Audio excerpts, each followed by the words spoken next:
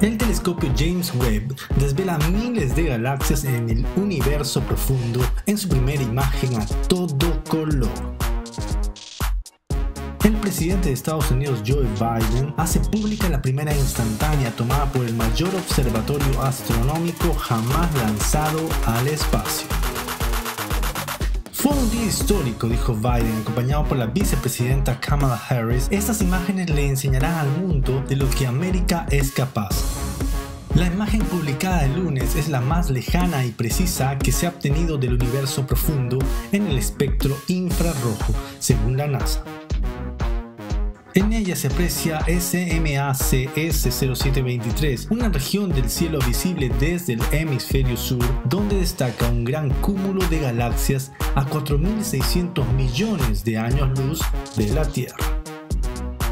El empuje gravitatorio de este cúmulo deforma el espacio y el tiempo y funciona como un lente que magnifica la luz de galaxias mucho más lejanas y tenues que están detrás.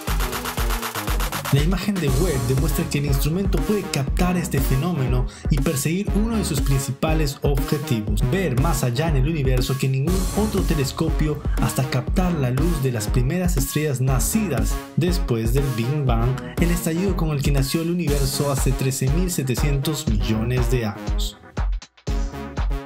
Esta imagen mira atrás más de 13 mil millones de años en el universo, resaltó Bill Nelson, administrador de la NASA, quien añadió que este telescopio intentará llegar a alcanzar unos 13.500 millones de años atrás.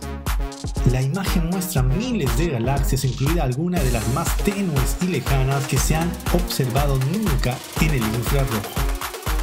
Todas ellas están comprendidas en una porción del cielo nocturno que tendría el tamaño de un grano de arena sostenido en la punta de los dedos desde la superficie de la Tierra. Y los cuatro objetos que el web va a mostrar es la nebulosa de Carina, el WAPS P96b, el NGC 3132 y el quinteto de Stefan.